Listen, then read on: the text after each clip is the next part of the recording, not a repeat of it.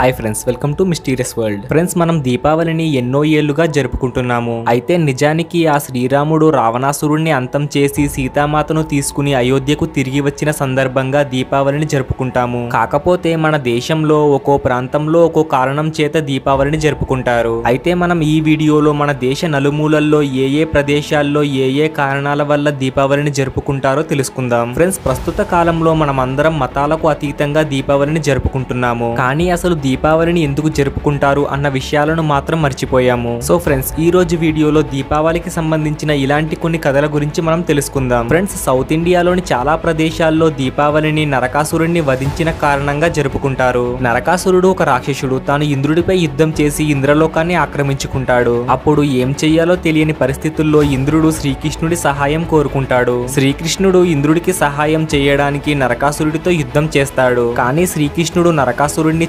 లేకపోతాడు. ఎందుకంటే నరకాసురుడికి ఒక వరం ఉంటుంది. అదేంటంటే నరకాసురుడు కేవలం ఒక సాధారణ మహిళ చేతిలో మాత్రమే చనిపోతాడు. అప్పుడు శ్రీకృష్ణుడు సత్యభామతో కలిసి నరకాసురుడిని వధిస్తాడు. ఆ తర్వాత శ్రీకృష్ణుడు ఇంద్రలోకాన్ని తిరిగి ఇంద్రుడికి అప్పగిస్తాడు. ఈ రకంగా చెడుపై మంచి గెలిచిన సందర్భంగా ఇక్కడ దీపావళిని జరుపుకుంటారు. ఫ్రెండ్స్ నార్త్ ఇండియా వ్యాప్తంగా దీపావళిని శ్రీరాముడు అయోధ్యకు తిరిగి వచ్చిన సందర్భంగా జరుపుకుంటారు. పద్నాలుగేళ్ళ వనవాసం తర్వాత శ్రీరాముడు రావణాసురుడిని వధించి లక్ష్మణుడు మరియు సీత సీతామాతతో కలిసి అయోధ్యకు తిరిగి వస్తాడు. ఈ కారణంగా అయోధ్య నగరం మొత్తం దీపాలను వెలిగించి వేడుకలు జరుపుకుంటారు. కాబట్టి ఆ రోజు నుంచి దేశమంతా దీపావళిని జరుపుకుంటారు అని అక్కడి వారి నమ్మకం. ఫ్రెండ్స్ కొంతమంది చెప్పేదాని ప్రకారం మహాభారతంలో పాండవులు పదకొండు సంవత్సరాల వనవాసం తర్వాత తిరిగి అస్తినాపురానికి చేరుకుంటారు. వారి రాకకు ప్రతీకగా అస్తినాపురం మొత్తం ఒక పండగలా వేడుకలు జరుపుకుంటారు. ఆ రోజు నుంచి ప్రతి సంవత్సరం దీపావళిని జరుపుకుంటారు అని కొందరు నమ్ముతారు. ఫ్రెండ్స్ దీపావళి సిక్ కమ్యూనిటీకి కూడా చాలా స్పెషల్. ఫ్రెండ్స్ మూడవ సిక్కుల గురువైనటువంటి అమర్ దాస్ దీపావళి రోజు సిక్కులందరూ తమ గురువు యొక్క ఆశీర్వాదం తీసుకోవడానికి వెళ్తారు. అలాగే పదహారు వందల పంతొమ్మిదిలో దీపావళి రోజు నాడే గురు హరిగోవింద్కి ముక్తి లభించింది. ఈ కారణంగానే సిక్ కమ్యూనిటీలో దీపావళిని ఒక వేడుకగా జరుపుకుంటారు. ఫ్రెండ్స్ మన పురాణాల్లో దీపావళిని జరుపుకోవడానికి మరొక కారణం కూడా ఉంది. అదే రక్తబీజుని అంతం. ఫ్రెండ్స్ రక్తబీజుడు ఒక రాక్షసుడు. తనకి ఒక వరం ఉంది. అదేంటంటే తన శరీరం నుండి ఒక రక్తపు బొట్టు కింద పడిన దాని నుండి మరొక రక్తబీజుడు ఉద్భవిస్తాడు.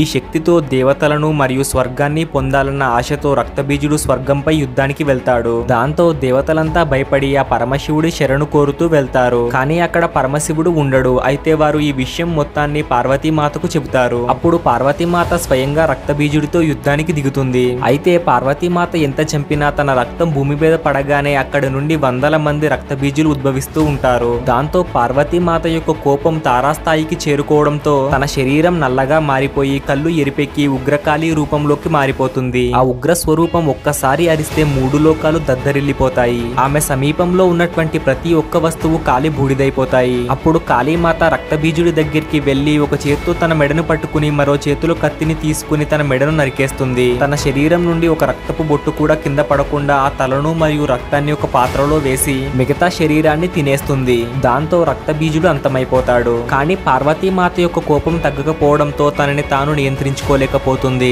తాను అడుగుపెట్టిన ప్రతి చోటు కాలి బూడిదైపోతుంది. ఆ సమయంలో అక్కడికి వచ్చిన పరమశివుడు తనను శాంతింపజేయడానికి స్వయంగా తన దారికి అడ్డుగా పడుకుంటాడు. ఆ పరమశివుడి గుండెలపై కాలు మోపినటువంటి పార్వతీదేవి పరమశివుడిని చూసి శాంతిస్తుంది. అమ్మవారి ఈ కాళీ రూపాన్ని తలుచుకుంటూ దీపావళికి ఒక రోజు ముందు కాళీ చతుర్దశిని జరుపుకుంటారు. ఆ రోజున ప్రతి ఒక్కరూ కాళీమాతకు పూజలు చేస్తారు. ఈ విధంగా ఒక రాక్షసుణ్ణి అంతం చేసి మంచి గెలిచిన సందర్భంగా దీపావళిని జరుపుకుంటారు అని కొన్ని పురాణాలు చెబుతున్నాయి. ఇందులో దీపావళికి ఏది అసలైన కారణం అన్న విషయం ఎవరికీ సరిగా తెలియనప్పటికీ ప్రతి కథలోనూ చెడుపై మంచి గెలవడం అనేది మాత్రం నిజం. ప్లస్ దీపావళి జరుపుకోవడానికి గల కారణాల గురించి చేసినటువంటి మా ఈ వీడియో మీకు ఎలా అనిపించిందో కామెంట్ సెక్షన్లో కామెంట్ చేసి తెలపండి. అలాగే మీరు ఇప్పటి వరకు మా ఛానల్ని సబ్స్క్రైబ్ చేసుకోకపోతే ఇప్పుడే సబ్స్క్రైబ్ చేసుకోండి. పక్కనే ఉన్నటువంటి బెల్ సింబల్ని కూడా యాక్టివేట్ చేసుకోండి. దాని ద్వారా మా వీడియోస్ మీ వద్దకు ఫాస్ట్గా చేరుకుంటాయి.